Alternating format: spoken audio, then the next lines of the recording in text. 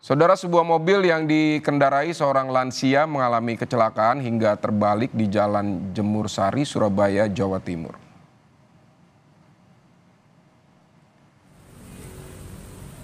Warga berusaha mengeluarkan pengemudi yang terjepit di dalam mobil.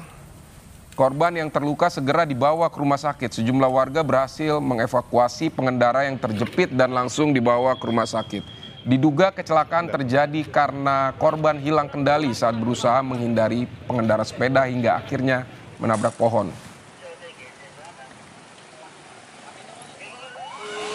tadi karena katanya sih nggak menghindari sepeda katanya Oh gitu. saya kurang tahu Terus akhirnya terbalik. terbalik akhirnya terbalik Terus tadi evakuasinya seperti apa Pak?